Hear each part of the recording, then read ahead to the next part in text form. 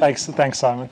Um, yeah, it's uh, yeah recession-proof stocks. So we all, I suppose, have our opinions about the fate of South Africa.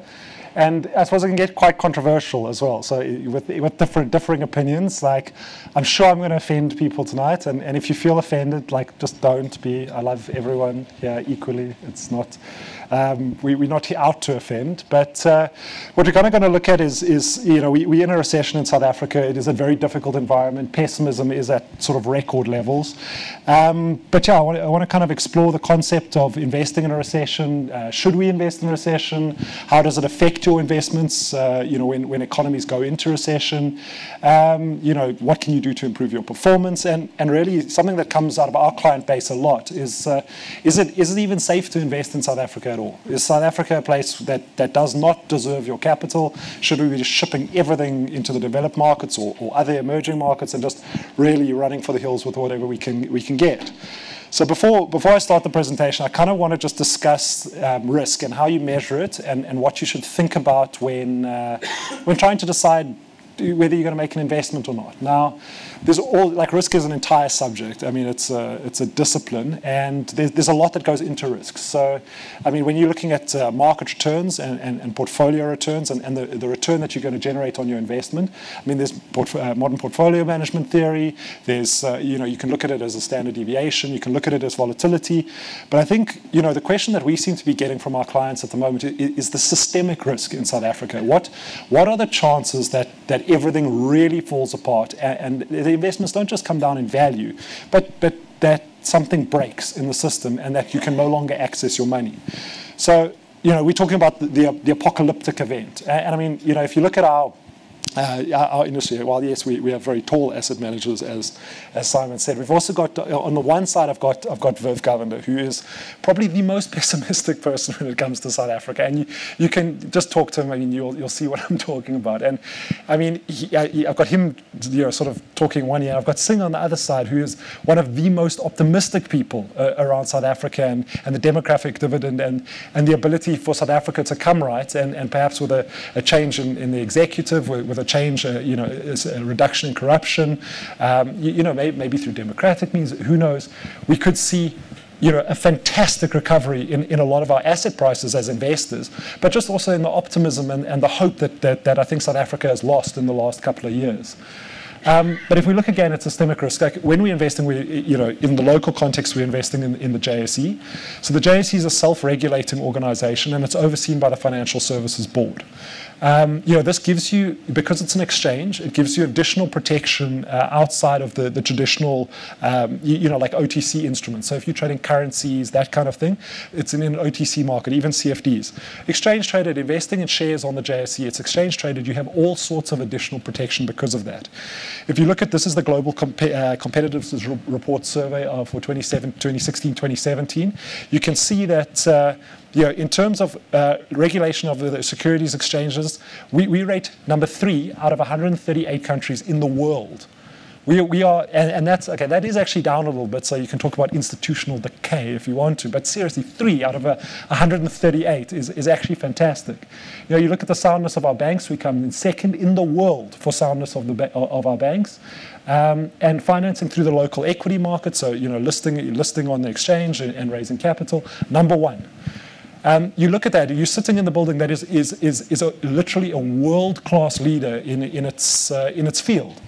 Now, we can talk about, you know, independence of reserve banks who, I don't know, they're not independent because they're cutting rates today. I, I don't know. Like, the, the fact is that this institution still exists and, and it's a long way away from, from being you know, disintegrated. And, and, if we, and if we see it, we will see it happening. Now, there are significant regulatory changes coming with Twin Peaks. The way that the exchange is going to be regulated is going to change as well. But I think from an investor's point of view, you can take, uh, um, I suppose, comfort in the fact that we're going to see these things coming. It's not going to happen overnight that your, your, your funds are suddenly seized. Um, so I'm just going to go quickly through. This is actually the derivatives market um, risk model.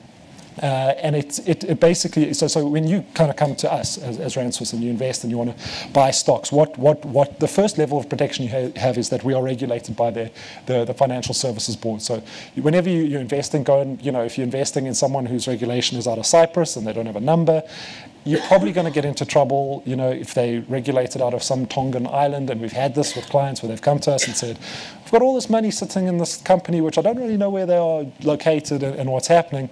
Yeah, don't do that. It's not a good idea. Know, know where you're investing. And, and, and really, I mean, you can go on the FSB's website, you can check financial services providers, you can check the categories they're listed in. Because of that, we are rated as a financial institution. That means that all the funds that you put with a financial institution are separate from a business. They, they, they, they can't be classed as part of the balance sheet. It's not like a bank. And, um, and, and they have to be held in trust. Uh, again, we've got all sorts of uh, hurdles that you have to, you know, when you become a, a, member of the exchange or when you become a financial service provider, you have to meet capital adequacy requirements, you have to meet balance sheet requirements, you have to have insurance requirements. There's all sorts of things that go on. Once you, you sort of uh, approach the, the, the, JSE structure, the member firms all also contribute to the JSE Guarantee Fund. Um, depending if uh, what instrument you're trading, there are other funds as well. So the derivatives are slightly different. Uh, is slightly different again. But essentially, like this, like I said, this is the, the derivative model. If a client goes bankrupt, so for some reason he defaults and owes the member money, and the member can't pay, the member will go bankrupt. But the clearing member is then responsible. The clearing member, which is the likes of ABSA, Investec, these are huge institutions. If they go bankrupt, and because they, they, now stand surety for all the other clients' funds underneath, it then goes up to the JSE. On top of the JSE, okay, so in the derivatives markets, you've got JSE Clear. You've also got the JSE Guarantee Fund, which all members contribute to. This will stand ready to basically solve any problems. It's, it's a, an incredibly robust uh, risk system that, that we have in South Africa. But at the same time, you've got to remember, okay, so for us, we're a financial services provider. We've made that choice um, instead of going the membership route because we want to be able to offer access to multiple markets. You know, it's wonderful to trade on a, a, an institution like the JSE, but we also want to be able to offer clients NASDAQ and yeah, New York Stock Exchange and London Stock Exchange, etc. So we want to be able to offer different markets, so that's why we go that route. But the thing that you can do is you also just have to know who you're dealing with. I mean, try and deal with someone face to face.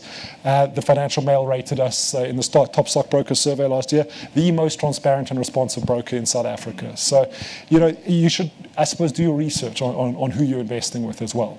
Okay, now we can get back to power. Now that you understand that it is safe to invest in South Africa from a systemic point of view. So what is a recession? We, we all hear that we're in a technical recession. People are like, what is a tech, are we technically in a recession? Is, is, is, is a technical recession different from a normal recession? No. Like a recession is just, a recession is a general slowdown in economic activity. And technically it is defined as two consecutive quarters of negative growth. Now that's, that's just saying that it is a, officially a recession. But um, really, it, it, it's the fact that uh, we're not perhaps growing like we should be, unemployment are, is at the wrong levels, and all the economic metrics that we use to measure the economy are not where they should be. That, for me, is a recession. Um, although, yes, defining a recession, we, we are technically in a recession because we, these are the last two quarters that we've had, and that puts us in a recession. As you can see, over the last couple of years, last time we were in a recession was three quarters of recession um, just post 2008 financial crisis. That's when the whole world was melting down, and everyone really thought it was the end, and we can go back to the nuclear explosion if you want. But um, and you look before that, I mean, all the way back to 1994, we've actually had fairly robust growth. That's probably to do with the rise in commodity prices and the commodity boom that we've had. But the fact is that while we, we are now technically in a recession, we have actually been, you know, fairly lackluster performance for the last couple of years in South Africa. Our markets have gone sideways, but, but maybe markets are not the right way to approach this. Like yeah, from a, from a fundamental economic point of view, we haven't grown as we should. If we look at the numbers, uh, and I don't, yeah, I've been asked not to depress everyone tonight, but um, if you look at 2008, you know, our unemployment situation, we, where the bars, has steadily, steadily been increasing. We, we, were, we had reversed, but we're still talking with the left axis here. I mean, from 30% unemployment, this is, it's, it's ridiculous like where we where we stand. And I mean, you know, most people would look at that and say, but Gary, it's probably a worse situation. That official number is incorrect anyway. We're working with the official numbers because that's what we have to work with. We can see that the, the rest of the world also went through a period in 2008 where unemployment spiked. So these are the US numbers. Um, US uh, unemployment up to 10%, and then slowly a reduction as the QE programs, as the right policies were put in place. We saw an unwinding of that very quickly. Okay, so this is the same thing. The, the light line is uh, South Africa. This is the UK unemployment. You can see UK unemployment lagged a little bit. So from the recession in 2008, um, they, they, it took them a, a, good few years to, to, to get right. Um, that was, you know, and if you like, this is then the, the uh, sorry, that was uh, EU, this is the UK. Um, so if you look at the EU as well, so only from about 2013, and part of the reason for that was, you know, the EU went in with you know more a structural program. They tried to change uh, from a fiscal point of view, so they were they were trying to shift their economy, whereas the Americans just came in and printed money with Ben Bernanke and said, you know, go wild, we, are going to reinflate uh, the economy. Um, and you saw the, the, the, U.S. economy turning a lot quicker than the, the, the European economies. Um, you look at the Chinese economy, so I wanted to put it in at least one emerging market. Now, we can't really trust Chinese data. There's a lot of uh, question marks around Chinese data. And I don't know, I, I, question that because it's like the dots all funny. But even then, we can kind of see that uh, you know, the official numbers from China are that the unemployment situation is getting better there as well. So we are diverging from the rest of the world, which is unfortunate. Look at inflation. Now, inflation is the one thing in South Africa that is an incredibly positive thing. So you know, if we look at the Reserve Bank, the Reserve Bank, I mean, with the Public Protector's uh, report recently, it has been called into question, you, you, know, whether, you know, all sorts of things. I don't want to get too much into that. But uh, essentially, as it stands, our, our, Reserve Bank is independent and, and, and, a, and a very strong institution. We can see that by the results that it's delivered. Our inflation has been within target band for, for most of the, uh, the, the last, let's say, seven years. Um, you know, our growth rate has suffered, perhaps on the back of that. And yeah, so I've just overlaid the, the little dotted line is our interest rate cycle. So we've seen, we've actually been hiking interest rates into this part of this is because of the policy issues that we've had. Um, but yeah, we actually, actually uh, this, you can see I did this before today, and today we had a 25 basis point cut. So it's just come down a little bit. And now that's, that for me is very positive because we do have a little bit of room to maneuver here. We're not in a stagflation environment in South Africa. Our inflation is well within its target band, in spite of you know, a currency that's blown out and, and a lot of imported inflation, in spite of droughts, in spite of a lot of negative things, we've managed to, we've managed to protect the value essentially of, uh, or at least we, have managed to keep the, the general price level stable, which is, which is very positive for doing business in South Africa. Now, this is where things start to really fall apart when you start to look at government debt to GDP, and you can just see post 2008, that the trend is very, very clear what's happening there. And that, this, is, this is kind of a, a big worry. What, how is that translating? And uh, you know, I'm trying to tell a, a story in numbers here, but um, how is that translating to business confidence? We're at the worst levels of business confidence since 2008. There's been an absolute implosion of investor confidence around South Af- in, in South Africa. Now, that in itself can become a self fulfilling prophecy. So, you can see this is a very volatile number as it goes. So, it doesn't take much for, for business confidence to reverse. It can be the change of a president that can they suddenly change investors' attitude towards our country, and things will change automatically. So the difference between, for me, so, so the, the, investor confidence is really what gets gets to the heart of um, of investing for me. So the difference between you know investor confidence is, is that picture and that picture. So that picture is when you're confident that, that an economy is going to grow, that you're going to be able to let out buildings, that you're willing to put capital to work there, and your property is going, your property rights are going to be protected. You will build fantastic buildings in Sandton. You you will you will foot for that. When you have no investor confidence, you don't even want to maintain buildings. You don't want to do anything. You want money out of the country at all points because you're afraid that, that your investment is not going to think. And like I said, I put a bipolar smiley face there for you guys as well because that's, that's how, investor, how quickly investor sentiment can change. It's, um, it, it, it's, a, it's a very fickle thing. And it's something that I suppose as investors you need to be aware of, that you need to try and look at the numbers and the, the actual, you know, the, the individual investment cases rather than being, allowing that the, the, the general, I suppose, media pessimism to, to you know, pervade your thoughts. Um, and try and, yeah, try and keep, uh, yeah, a little bit more optimistic, but uh, at the same time, just, just try and work with the numbers that you've got as well.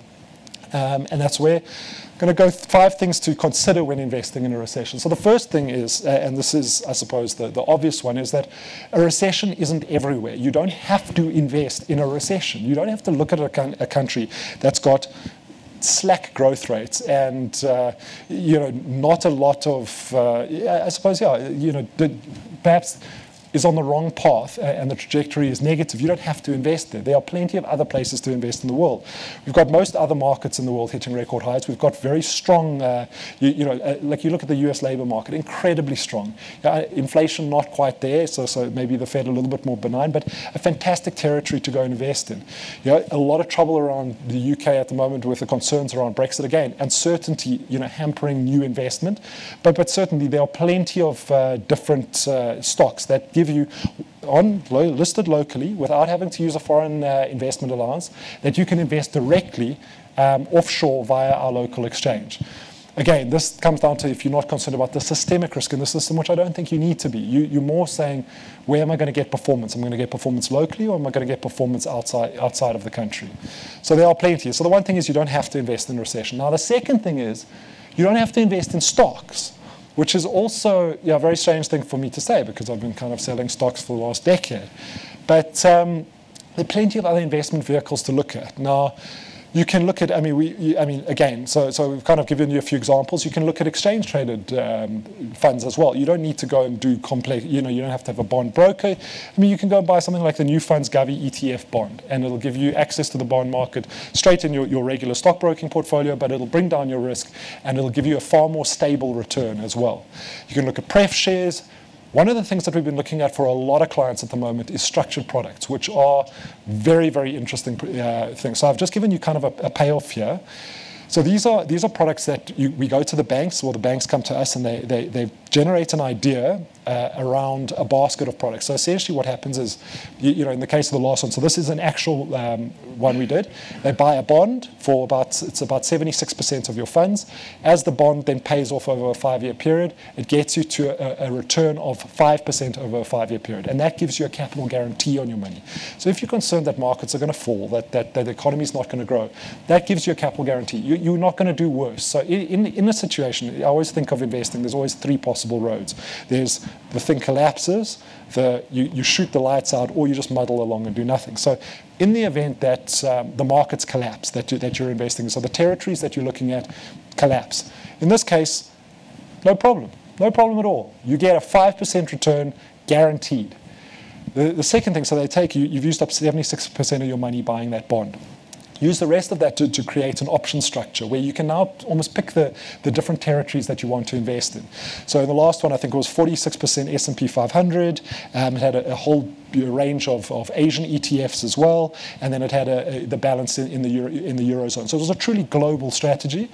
Now, what it's saying is, like, we then go and buy options on this, which gives you upside performance. So now, if the market ends positive, so you're not losing money, if the market ends positive, you, we, we actually structured in a way that you'd get two times gearing on your money as well. Market, market goes up um, uh, 10%, you're going to go up 20%. Market goes up 15%, you go up 30%. Uh, 30%. You go up 30, the market goes up 31 and a half, uh, 31, no, did I do that wrong? Yeah, um, yeah, so 31 and a half percent. You go up 63%, and that's where you cap. Now, to afford the structure, we've got to sell, uh, we've got to write an option as well. So we've got to write a put. That helps us fund the structure for you. And, and you've got to think about investing. There's nothing, there's no free lunch. So in this case, you know, when you get to 63% up, we kind of draw a line in it and we say, okay, you can't, you can't have any more performance than 63%. And because we're selling away the further upside, we can afford to have the structure. So in this case, if I think of the three roads again, in the downside scenario, you do okay. The rest of the, everyone else that bought the market got hammered. You got your money back plus 5%. If the market muddles along, we've had an eight-year bull market, we're in a recession, things are perhaps not looking uh, so good. If the market just muddles along and does anywhere in five years 30, uh, what, 31%, or I suppose actually 63% and under, you do either the same as the market or better than the market. So you outperform. The only situation where you don't make exceptional gains is if the market shoots the lights out and does 80, 90%, you're only going to get your 63%. So when everyone else is like really rich, you're not going to be quite as rich. So we thought this is, I mean, this is a great product for, for recessionary investing. If you're concerned about uh, what's happening, these are the kind of products you do. I mean, this one we actually wrapped up and listed in Bermuda. It was, it was really, it was, it was fun. It was, a, it was a great product. And it's, it's something to consider that you can look outside your in, in, in, a recession, you can look outside the, the, traditional instruments as well. We've also put derivatives to bring down exposure as well. So there are, there are options open to you that, um, these days. I mean, financial markets have become so complex and so uh, accessible as well that uh, yeah, there's, there's, a, there's a lot that you can do with it. Um, I suppose this brings me to the next point, which is now, should you be doing that? Now, this is the, the real concern because, you know, I would say if you're an equity investor, if, if your strategy is to be a long term equity holder, you want to buy a diversified portfolio of stocks, which, I mean, we know if you look at cash and bonds and property and all that, stocks are going to do the best if you've got a long time horizon. You will make more money in stocks than anything else if you're jumping in and out, and I mean, I've had clients over the last however long that, that have always, it's always, I mean, even, even from 2008, the bottom of 2008, when we all, like, with hindsight, say, oh, we would have bought like it was going out of fashion. Back then, it used to be the double dip. Oh, no, no, no, it's going to double dip. It's, it's going to be a, a W shaped recovery, not a V shaped recovery. You can't buy yet. Just wait for it to go up a little bit more. This is just a dead cat bounce. Then the first like 20% is gone. Then it's like, Oh, no, no, no. Okay, W shape. Okay, we'll just wait a little bit longer. Then the next 10, 15% is gone. Already you've lost sort of 30% just by not being in the market because at this stage you were going, oh, I better get out. I better go into bonds. I better go, you know, I better try and, you know, de-risk my portfolio completely. I've seen more people, you know, even when we, we started getting towards the highs and people had taken like a two, three year run, you, you, you know, from say like 2011 to say 2013, maybe, you know, maybe 2012 people are coming and going, oh, we, have we, had such a lot of upside. It, it's about time for a correction. Gary, don't you think that there's going to be a stock market collapse in the next six, six to 18 months? And you go, yeah, of course, I have no idea if there's going to be a collapse because if there's going to be a collapse, it's, it's going to be one of the unknown unknowns. I'm not, no one's going to know about it. It's going to happen. Everyone's going to panic and, and we're all going to sell. But, um, and what do they do? They jump out of the market because they're trying to be savvy uh, investors, trying to time the market. The market goes up another 10, 20, 30%, and then they go, oh, I better get back in. And meanwhile, they've underperformed massively. So there's a lot to be said by just staying invested in the markets to try and to try and remember equity markets and, and, indices are leading indicators. So to try and look at the economy and go, oh, the South African economy is in such a bad place. I mustn't invest in the South African market. Doesn't make any sense. The South African market is already pricing in what's going to happen in the, the, the, the underlying economy a couple of years ahead. It first happens in the financial markets. You know, when you know, we had Nenegate, how quickly did the currency move? It's instantaneous. Something changes, the financial market changes, the, the economic market. So all the numbers that I showed you previously, those are all backward looking. Markets are already forward looking. So to try and predict markets, we've got to try and work out what's going to happen after markets. And unfortunately, you know, equity markets can see a lot further than you. You know, the big professional investors, as much as like I want to be, come here and say this and these are the secrets to equity market investing, as retail investors, you're not going to have access to the information that, that is available to professional investors that will be able to beat you in, the, in this case. So what is your role? Where do you guys manage to, to, to grab value that, that other people can't. So one is definitely in the small and mid-cap space because there, there aren't people that are looking at these companies. But the second thing is you just buy quality and wait. These companies will go up. If you're buying quality at reasonable prices, you don't have to be a genius. You don't have to be the, the guy who's got the, the complex, you know, long short strategy on, on you know, Naspers' rump because you see Tencent being overvalued and, and the rest being undervalued. You don't need to make complex decisions. Go and buy things that, that are, are reasonably priced and, and, and wait. And time is on your side. If you're in, you, you will do well. Um, so I've just given you a quick uh, stock survival checklist as well. So I think Simon will send around the, um, the slides as well afterwards. But in a recession, so when, when times are tough, what do you look for in businesses? The, the real concern is that you go into, you know, especially if you're looking at small and mid cap stocks, you go into something that goes out of business. Now that that is a concern. So for me, you, you look for survivability in the stock as well. So you look at uh, things with lower gearing uh, in, in, difficult times because you want to make sure that it, it's, it's got the ability to, one, survive uh, the downturn, but two, be able to raise capital if they, they're deals. Because often when the markets are suppressed, you're everything else becomes cheap around you. And if you've got the, the, a strong enough balance sheet, you can buy out other companies. You can, you, can, you can use this to grab market share.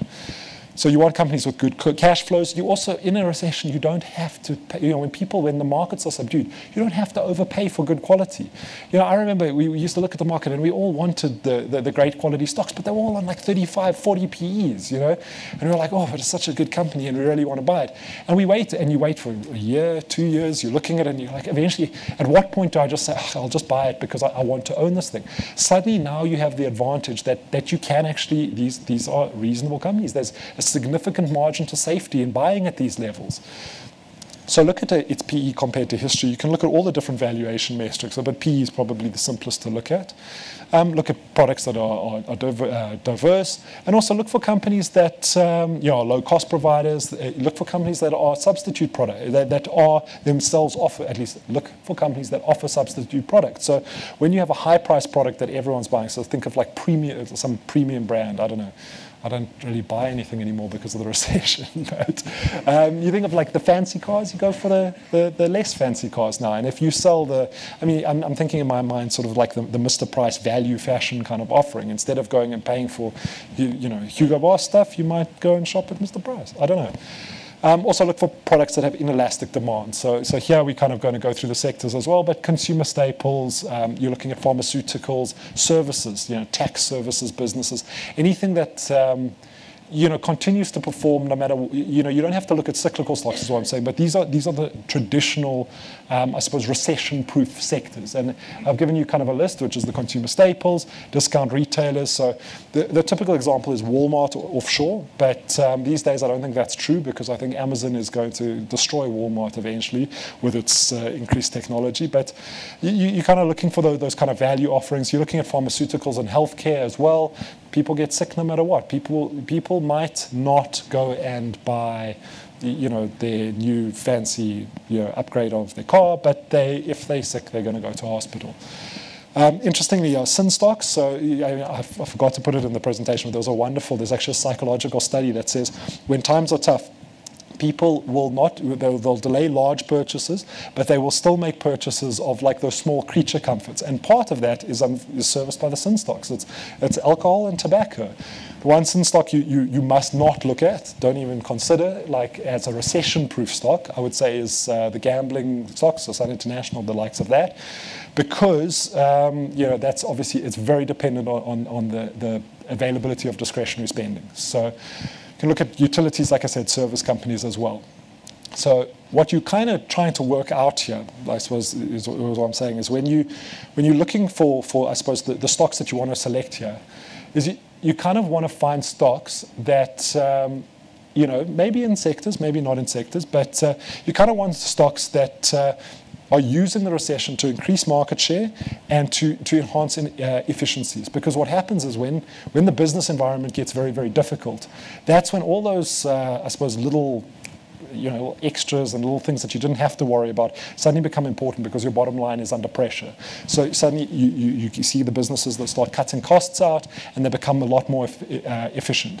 You know, as Warren Buffett says, you know, you, you know I, I, was going to not give you a picture of Warren Buffett's face. I actually Googled, uh, you know, when the tide goes out, discover who's swimming naked. Not a good idea. Really not a good idea. The cartoons were just really pornographic. but um, yeah, but uh, yeah, essentially, yeah, where this it allows you, like in a recession, it allows you to, to better identify good quality companies because you'll see the companies that are getting into trouble now, and you're going to see which companies are grabbing market share, and that sort of brings me to the fifth point, which is okay, well, be a contrarian investor, but like that. Um, so, so yeah, you know, this, this slide always, this uh, picture always reminds me. There's uh, two guys, and they're sort of sitting in the savannah, and they're like walking along, well, not sitting, they're walking along, and then they, they come across a lion, and the one guy like immediately goes down and starts tying his shoelaces, and his friend looks at him and says, "What are you tying your shoelaces for? You're never going to outrun the lion." He says, "I don't need to outrun the lion. I just need to outrun you," and he, off he goes.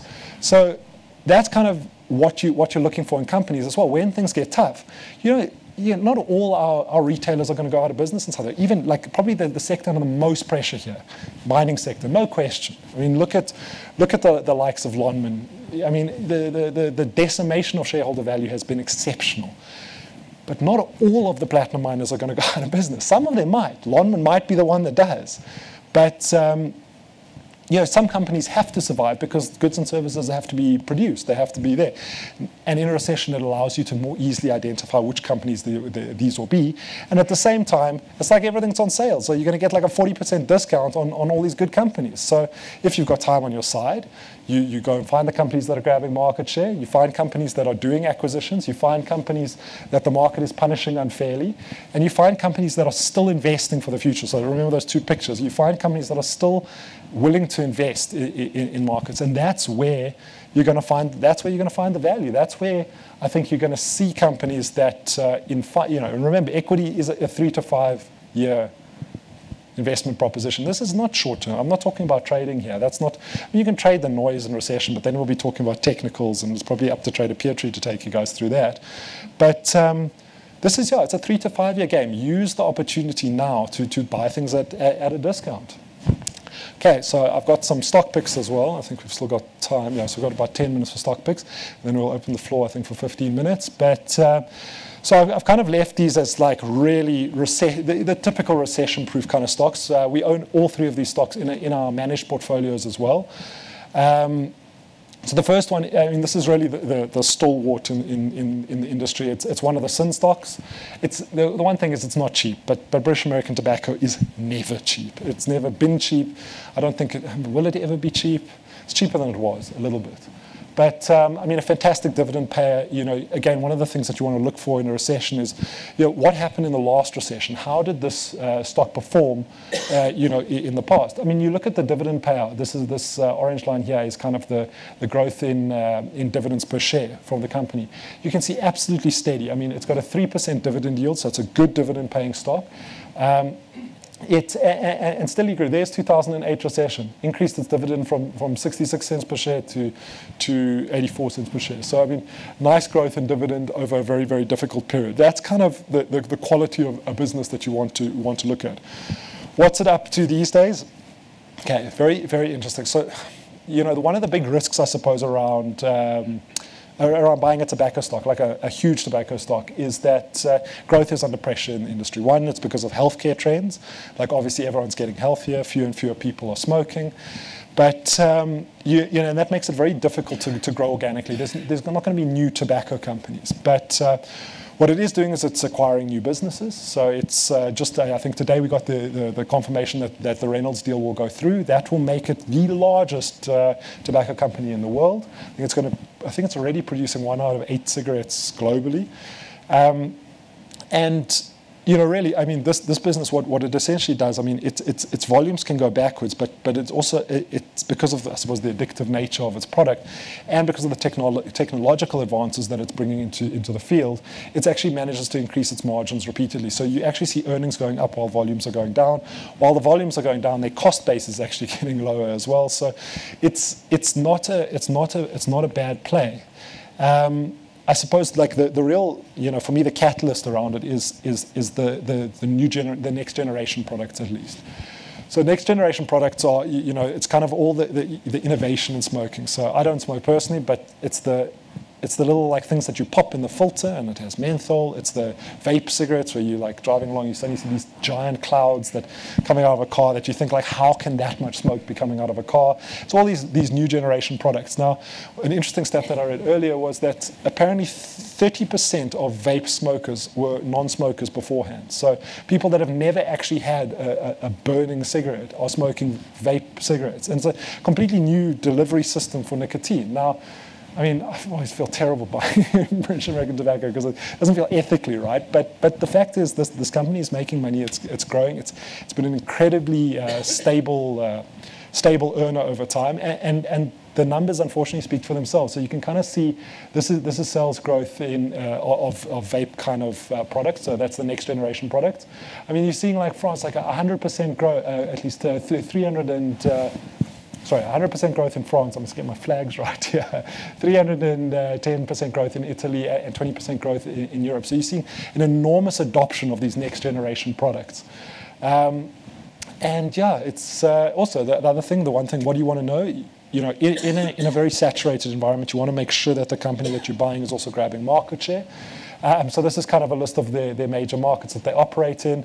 So I think there's 36 markets there at the moment. They're growing in well over half of them. They, they, they're taking market share. I think about two thirds of them, they, they're actually uh, grabbing market share from, from other tobacco suppliers you can kind of see that the stock price kind of tells its own story. Um, you know, it gets sometimes it gets expensive, sometimes it's a little bit cheaper, um, but over time it's a very stable uh, player as well. So this is kind of like in a recession, that's kind of what you want. You want to try and drop the market risk on your portfolio. That's one of the things that we're doing today. So you want something, you know, this is not, you don't chuck all your money into British American tobacco, but it, it can form like almost that stable unit in your portfolio.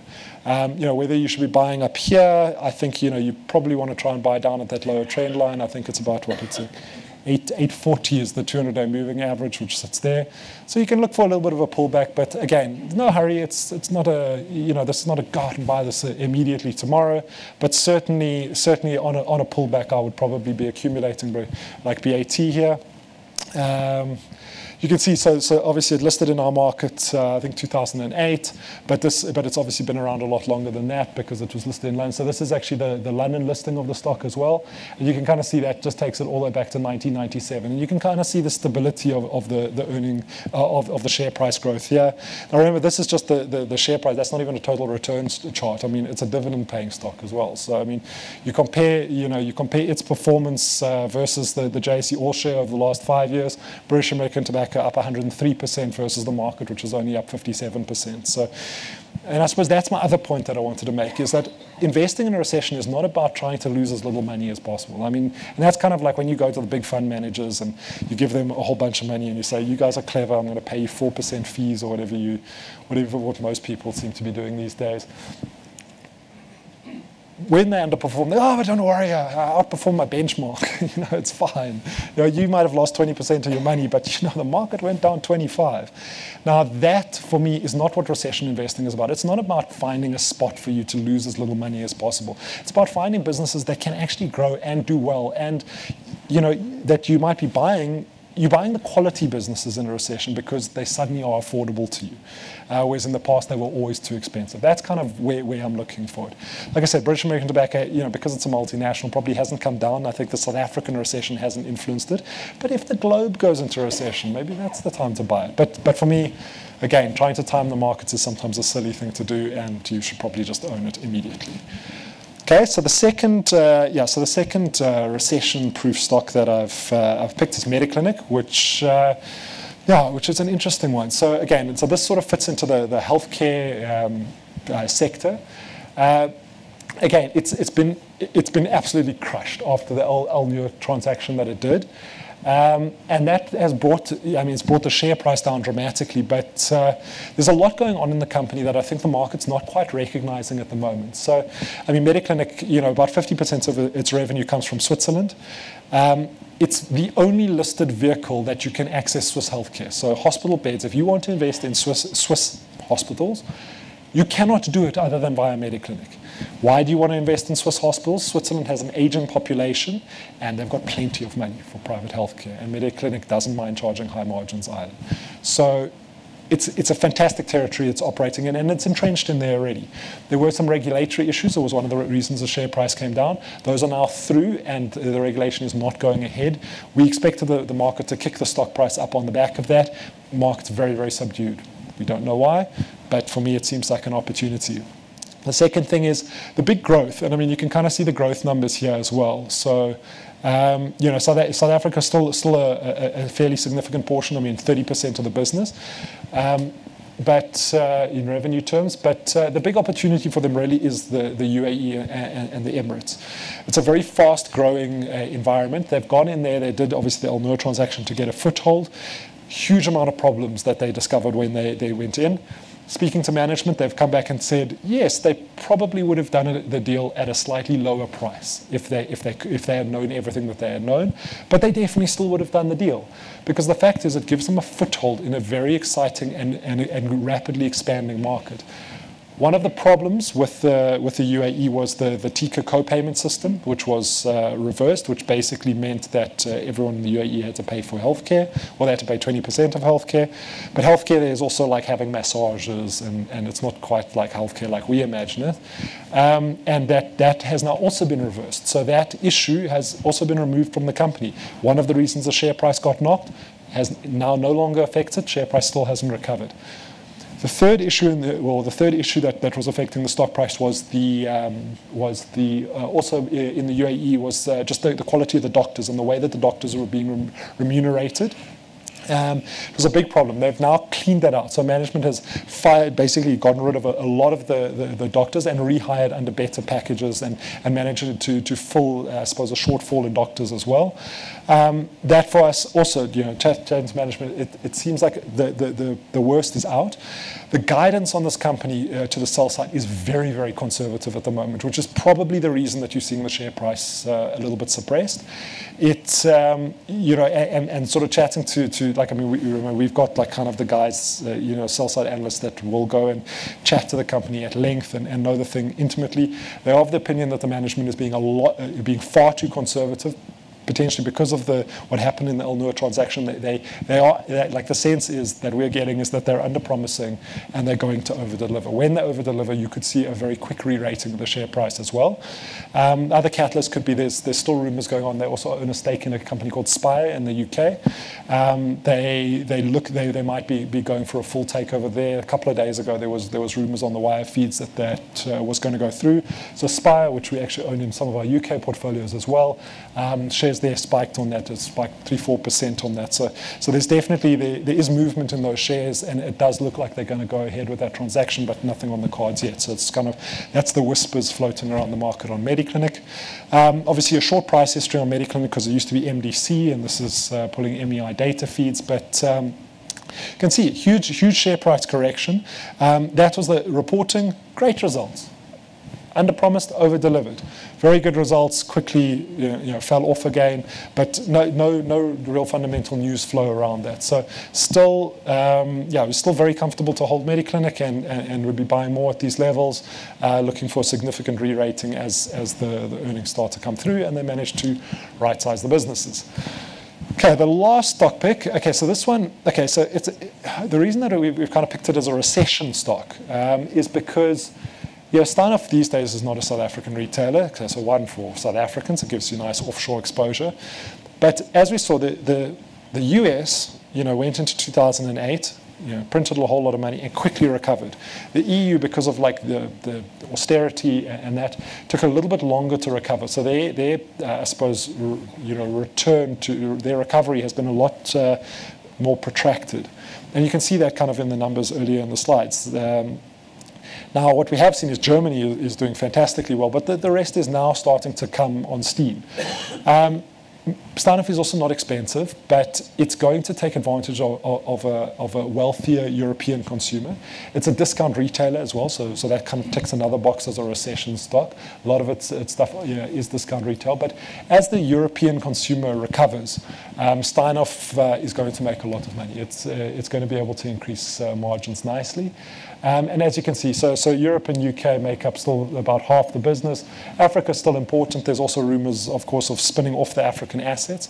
Now, that is, yeah, I've got the numbers written down in my pocket, but if I remember right, currently the market, you know, looking at the share price of Steinhoff, the market is pricing it, you know, if it had to create retail Africa or whatever you want to call it, um, and we, we kind of understand the appetite is there.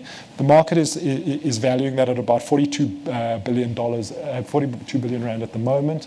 Um, if you look at the, kind of the estimates of if you were to actually unbundle it and, and separate so that you had a, a, a, Steinhoff, a true Steinhoff International and, and, an African Steinhoff, you would probably unlock close to 40 billion rands worth of value. So there is a, a serious discount on the, on, the, on the local assets. Why is there a discount on the local assets? Because everyone is pessimistic about South Africa. Everyone is pessimistic about Africa in general, I think, at the moment. But um, it's, it's, you know, that's this kind of like, you know, when, when you're looking at, uh, I suppose, building an investment case, you, you're looking to, to find assets that are marked down. You're looking for those, those companies that are at a discount that over time, you know, whatever the catalyst might be, the catalyst might be an unbundling, but the catalyst might just be the market recognizes that these, these businesses are worth a lot more than, than they're currently being assigned. And, and you get the, the, the big fund managers starting to buy it and you get a re-rating in the share price. Um, yeah, very, very diverse revenue streams as well. Um, one of the other issues around the company that's kind of kept the performance back a little bit was everyone, they, they're thinking that uh, Steinhoff has overpaid for Mattress Firm. Um, I don't think that that's the case. So, so you kind of look at mattress firms' listed share price, and you know the thing collapsed, and then they paid more than the record high for it. So you, you, you can kind of look at that and think, okay, maybe they did overpay for it, but but really it, it gives them a foothold in the U.S. Um, and and they're doing what they do best. Steinhoff management is is is is second to none. They go in there, they they they you know, rip out the, the, the, old inefficient models, they put in new ones, they, they use their vertically integrated business model to you know, improve the logistics and the supply chains, and they suddenly take businesses that look pretty shoddy and they make them into really good quality businesses.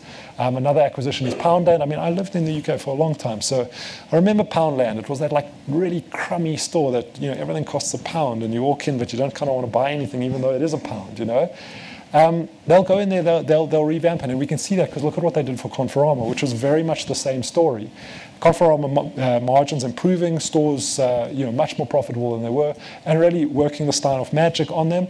I suppose the question for us is we want to try and get the, the Conforama margins to about 7.5%, and then we'll be kind of happy that that's, that, that business turnaround is, is good. But this is, this is kind of Steinhoff's business model. I mean, they, they go, they buy businesses. The, the Steinhoff that you buy today is not going to be the Steinhoff that you have in six months' time because there's probably going to be a whole lot of deals, but this is kind of what you're paying for. You're paying for management expertise, and you're paying for very clever people to go in there, you know, buy underperforming businesses and, and, and, and manage them correctly and uh, create a lot of value for shareholders. And for me, that's, uh, that's a business that you should hold. And uh, that's a, the kind of thing that you want to buy in a recession. You want a management team that, that is working for you, that's going to go out and is going to buy, buy underperforming businesses that are probably going to get into trouble.